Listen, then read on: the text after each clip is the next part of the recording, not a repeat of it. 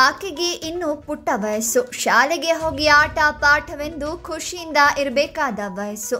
ಆದರೆ ಆಕೆಯ ಖುಷಿಯನ್ನ ಮಾರಕ ಕ್ಯಾನ್ಸರ್ ಕಾಯಿಲೆ ಕಸಿದುಕೊಂಡಿತ್ತು. ಕ್ಯಾನ್ಸರ್ ಕಾಯಿಲೆಯಿಂದ ಸಾವು ಹತ್ತಿರವಾಗ್ತಾ ಇದ್ರು.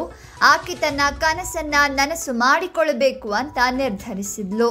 ಹೌದು, ಮದುವೆ ಆಗೋ ಕನಸು ಕಂಡಿದ್ದ ಅಮೆರಿಕದ ಹತ್ತು ವರ್ಷದ ಬಾಲಕಿ ಲ್ಯುಕೆಮಿಯಾದಿಂದ ಬಳಲ್ತಾ ಇದ್ದಳು. ತಾನು ಸಾಯುವ ಕೆಲವೇ ದಿನಗಳ ಮೊದಲು ಬಾಲ್ಯದ ಗೆಳೆಯನೊಂದಿಗೆ ಆಕೆ ಮದುವೆ ಆಗಿ ತನ್ನ ಕನಸನ್ನ ನನಸು ಮಾಡಿಕೊಂಡಿದ್ದಾಳೆ.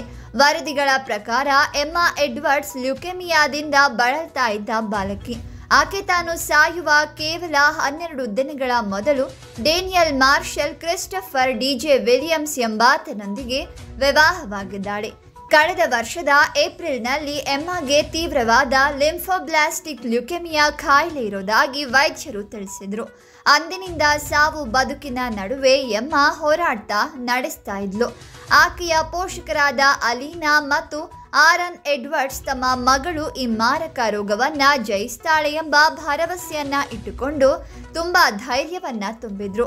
ಎಮ್ಮಾಗೆ ಉನ್ನತವಾದಂಥ ಚಿಕಿತ್ಸೆ ನೀಡಿ ಮಗಳನ್ನ ಬದುಕಿಸಲು ಪೋಷಕರು ತುಂಬಾ ಪ್ರಯತ್ನ ಪಟ್ಟಿದ್ರು ಆದರೆ ಜೂನ್ ತಿಂಗಳಿನಲ್ಲಿ ಎಮ್ಮಾಗೆ ಆವರಿಸಿರುವ ಕ್ಯಾನ್ಸರ್ ಖಾಯಿಲೆಯನ್ನ ಗುಣಪಡಿಸೋದಕ್ಕೆ ಸಾಧ್ಯನೇ ಇಲ್ಲ ಅಂತ ವೈದ್ಯರು ಹೇಳಿದ್ದು, ಆಕೆ ಇನ್ನು ಕೆಲವೇ ದಿನಗಳ ಕಾಲ ಬದುಕ್ತಾಳೆ ಅಂದಿದ್ರು.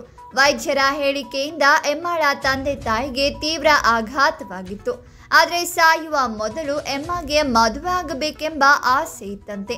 ಅವಳ ಆಸೆಯನ್ನ ನೆರವೇರಿಸಲು ಪೋಷಕರು ಸಹ ನಿರ್ಧರಿಸಿದ್ರು.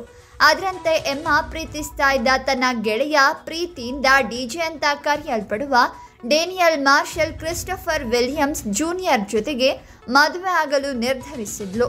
ಇದಕ್ಕೆ ಡಿಜೆ ಪೋಷಕರು ಸಹ ಒಪ್ಪಿಗೆಯನ್ನ ನೀಡಿದ್ರು. ಸುಮಾರು ನೂರು ಮಂದಿ ಅತಿಥಿಗಳ ಸಮ್ಮುಖದಲ್ಲಿ ಉದ್ಯಾನವನದಲ್ಲಿ ಎಮ್ಮಾ ಮತ್ತು ಡೇನಿಯಲ್ ಮಾರ್ಷಲ್ ಜೂನಿಯರ್ ಮದುವೆ ಸಮಾರಂಭ ನೆರವೇರಿತು. ಡಿಜೆ ಮಾಳನ್ನ ಖುಷಿಯಿಂದಲೇ ಮದುವೆ ಆದ. ಈ ವೇಳೆ ಇಬ್ಬರು ಮಿರಿಮಿರಿ ಮೆಂಚುವ ಮದುವೆ ದಿರಿಸಿನಲ್ಲಿ ಕಂಗೊಳಿಸಿದ್ರು.